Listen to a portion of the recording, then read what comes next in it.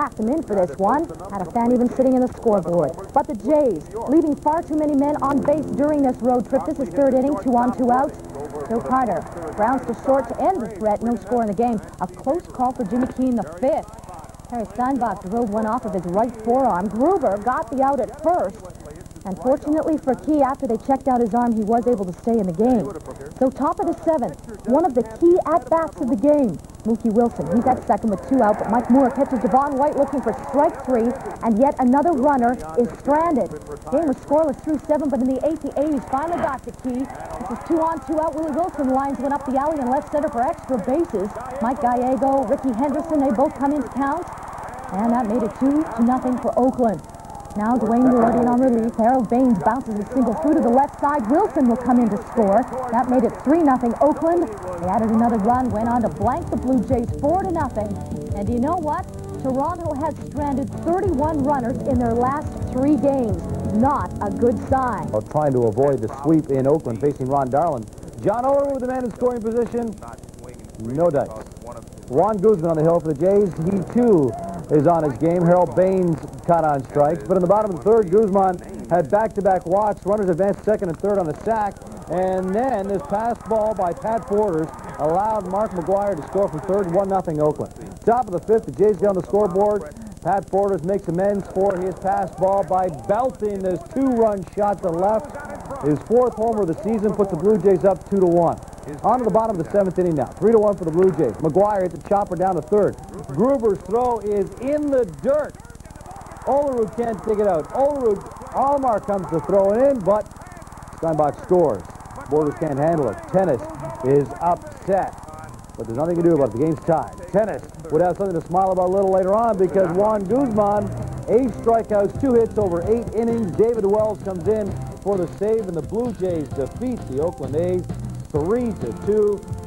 David Wells gets his first save of the season. Pat Borders' fourth home of the season. Borders had a great weekend.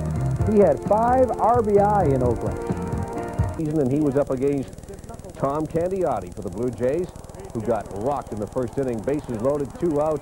Max Venable pulls one to right field. Stevens, Winfield, Gary Gaetti all come in to score on the three-run triple, 3-0 Halos. Still in the first, Ron Tingley drives one deep to center field. Past Devon White. Five nothing is the score. Game is far from over. Top of the second, Candy Maldonado gets the Jays on the board by belting the two-run home run to left field. Toronto trails 7 to 2. There goes Carter. Maldonado came up again in the third, and this time he pulls one inside the bag at third. Roberto Alomar comes in to score. Joe Carter scores. Toronto's within three, down 7-4. Angels led 9-4 after three. But Kelly Gruber belts a two-run home run over the wall in left field. His 20th home run of the season. Jays within one, down 9-8. Ninth inning. Jays down 10-9. Dave Parker hits one to left center field. Tries to stretch it out into a double, but he is called out at second base. Close call. Bad call. Jays lose it. 10 to 9 was the final score in Anaheim. Maldonado and Gruber with the home runs. The save going to Bryan Harvey is 43rd. We'll also tell you Tom Henke is out until at least Friday. He received a cortisone shot on Monday for the tendonitis in his pitching shoulder. Facing Jim Abbott and the Angels. Abbott 10 and 2 in his last 12 starts. Strange day, strange play in the second. Pat Borders hits the grounder to first. Ball goes off Lee Stevens' glove. Gary DeSarcina comes back to back it up, and Borders retired 3-4-1. Top of the third. Roberto Alomar hits a ground ball to right.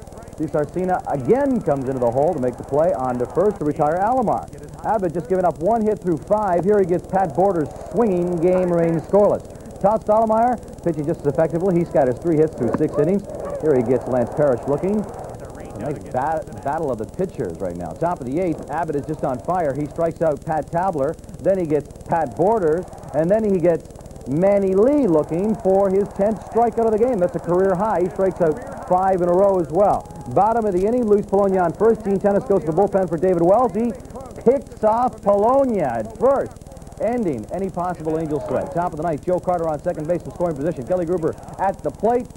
Hits a slow grounder to second, ending the inning and the scoring opportunity. Extra innings we go. Still no score in the game. Pat Borders spoils Abbott's brilliant work. He takes Abbott down the left field line just inside the foul pole. A three-run shot, and the Jays upset Abbott by defeating him by a score of three to nothing in 10 innings. Strong work there by Jim Abbott.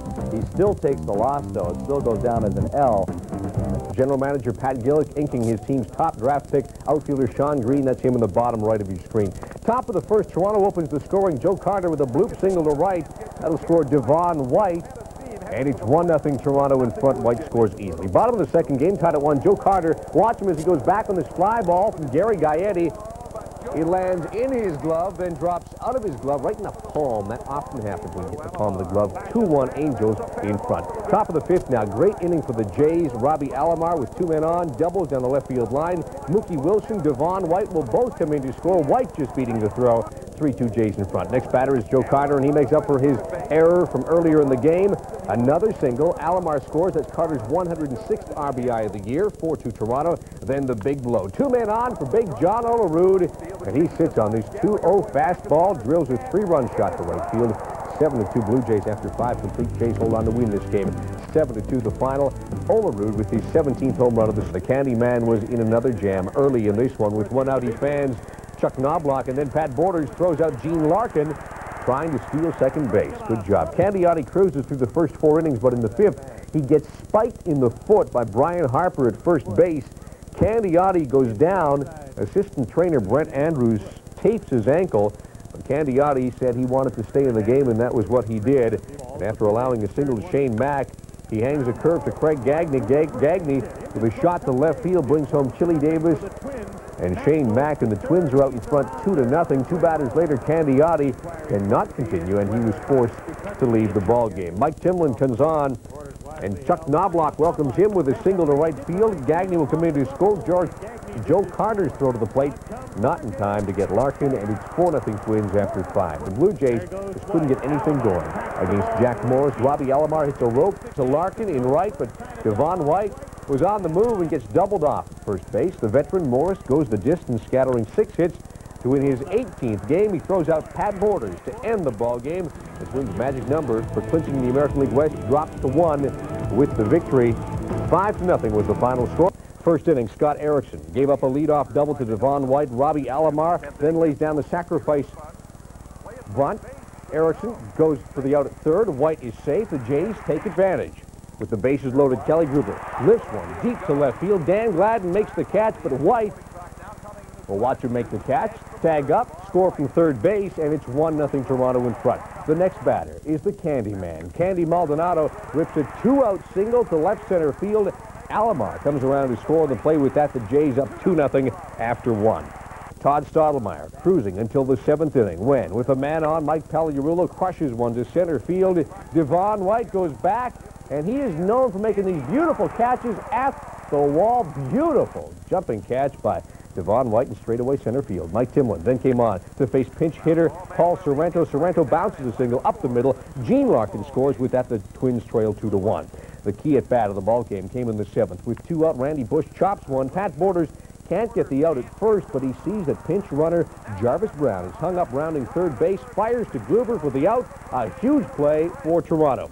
Stopper Tom Henke still on the shelf for the Jays, so David Wells comes on to toss a perfect eighth inning. Duane Ward came in and set the Twins down in order. In the ninth inning, Mike Pagliarulo flies out to center field to end this ball game. The Jays' magic number down to four after a 2-1 win over Minnesota. Duane Ward picking up the save, his 20th of the season. Stottlemyre, the winner. Scott Erickson took the loss. Mark Langston of the California Angels. He was tough in the Jays early on, though. Last of the second, Kelly Gruber watches the curve go by, and John Olerud swinging through a third strike, sort of. Jimmy Key has his problems in the fourth. Lance Parrish will crunch this one. It goes back, but Joe Carter, great catch, and then gets the ball in. Dave Winfield slides in. He is safe at third. However, he was early leaving second. And on the appeal and the throw back to second, they get Winfield. Key struggling in the fifth as well. Shawn Abner with a single. Chris Cron is waved in, but he stumbles on the turn, has to scramble back to third. And even Buck Rogers can sympathize a little with the rookie, having trouble with his footing. Last of the sixth, Joe Carter. And Dick Schofield will throw it away. Manny Lee comes in to score in the error, one to nothing for the Blue Jays. Then in the top of the eighth inning, Mike Timlin on to relieve Key. Two on, and two out, and Dave Winfield does that. Luis Polonia and Schofield come in. It's two to one for the Angels. Then in the home half of the eighth inning, Bryan Harvey comes in, and Harvey gets the job done. He picks up his 45th save of the year, and California downing Toronto by a score of two to one. 45 saves for Harvey. Jimmy Key takes the loss. for Three, compiling a 7.59 ERA. Jays get to him in the fourth inning with two out. Kelly Gruber fights off a pitch into left field. Joe Carter scores 1-0 Toronto. Lots of action in the bottom of the fifth. Manny Lee lays down the sacrifice. Fetters throws high to first. Lee collides with Gary DeSarcina. They both go down. DeSarcina is shaken up, but stays in the game. As for Manny Lee, he's feeling a bit wobbly himself. After Devon White flew out, Roberto Alomar grounds to short. Dick Schofield throws home to get Pat Borders. Watch Borders. Yeah, catcher knows how to handle a catcher at home plate. Tingley is forced to leave the game. Next batter, Joe Carter. Carter comes through with a two-out single to left center field. Manny Lee comes in to score. Jays up 2-0. Then John Olerud pulls a single to right. Alomar tries to score from second, and he will slide in ahead of the throw. And it's 3-0 Toronto. Juan Guzman looking for a club record 10th straight win as the starter strikes out Lee Stevens in the seventh. Up go the K cards. He racked up six on the night. Ninth inning now. Jays up 5-2. Pinch hitter Ruben Amaro Jr. represents the tying run, but Duane Ward gets him the ground into the 1-6-3 twin killing. Jays win 5-2. Their magic number temporarily falling to 2 pending the outcome of the Boston game. The, the uh, save going to Duane Ward, his 21st. The only home run going to California's Dave Winfield of the franchise. Over 4 million fans into the Sky Dome this season in all to watch the team. Top of the first inning of this clinching game against the California Angels. Roberto Alomar throws to the plate. Pat Borders stands tall. Max Venable is out. Joe Grahe, 1-0 lead in the third. Perfect sitting down first nine Jays that he faces. Then in the fourth, Angels get three consecutive hits. Gary Gaetti lines this. And it's out of play for a ground rule double. Dave Winfield and Lee Stevens come in. It's 3-0 California. Grahe has a no-hitter in the fifth inning and then hit the self-destruct button. He walks Dave Parker. Pat Borders gets a free pass, and then Manny Lee draws the walk. Bases are loaded. Devon White will step in. Minded Gaetti can't make the catch. Gaetti couldn't handle it. Parker comes in. It's 3 to 1 Angels in the fifth. Things get worse for Grahe. Alomar draws the fourth walk of the inning. It's 3-2 Angels. Last of the sixth. Scott Bailes comes in to pitch. Candy Maldonado will greet him. 2-0 pitch.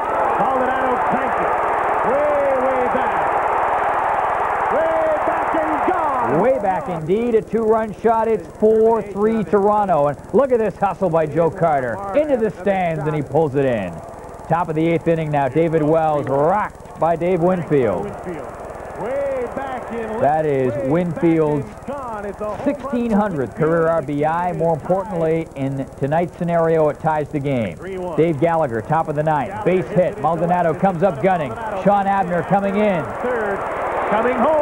Didn't get him. The Angels are up 5-4. Bryan Harvey looking for the save. Number 46 it would have been in the ninth. Alomar grounds. Here's Kevin Flora. Throws it away. White comes in. The Jays tie it at five. Alomar steals third. The table is set for Joe Carter to feast. Base hit. Blue Jays win the East. Let the celebration begin. And celebrate they did, and celebrate they should. Toronto over top of California. The final score is 6 to 5. The Blue Jays clinch first place in the American League East. They will, of course, go on to meet the Minnesota Twins in the American League Championship Series. Not that important. Jays get on the board at the top of the first. Candy Maldonado with a single.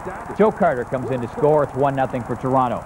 Even though the regulars were resting, some nice defense by the backups. Eddie Zosky right here with a nice grab, and then he gets the force at second. Double play. Todd Stottlemyre will be starting game four, as I just mentioned, and he's effective in this one. Gets Shane Mack swinging there. In the top of the fifth, the Jays add another run. Turner Ward with a single, Single to center. and Eddie Zosky will come in to count. 2-0 for the Jays. And the best news, the most significant news in this game, the fact that Tom Henke came in to pitch. He came in in the seventh, and he looked pretty good. And so did the Jays, for what it's worth, going on to beat Minnesota. The final score in this one is 4 to one. Matter of fact, that's the way it turned out.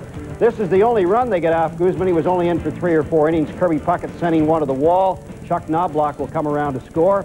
And on the play, Puckett gets a little greedy, and he is gunned out at third, but it was uh, 1 to nothing for the Twins, a lead they would not relinquish. In the sixth, Chili Davis with a solo shot to center off David Weathers, and the Minnesotas take the lead at 2 to nothing.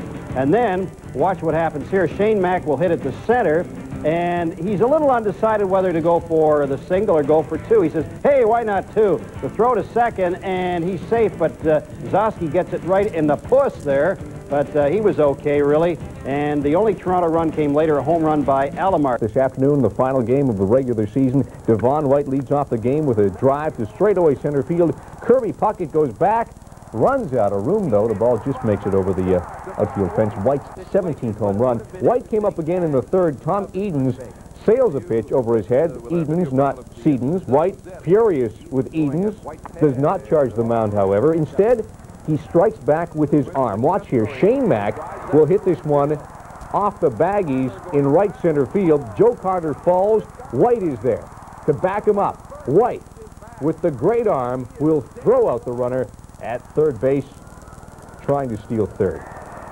Now, bottom of the seventh, score tied at one. Rob Ducey loses a fly ball in the lights. That would cost the Jays a run. They trail 2-1 after seven. With the score tied at two in the top of the 10th, Ducey redeems himself by belting this solo shot of Allan Anderson. He's first of the year. The Jays end the season on a winning note. A 3-2 win over the Twins at the Metrodome. White, Ducey with home runs for Toronto, Pagliarulo for Minnesota. Duane Ward picking up his 23rd save.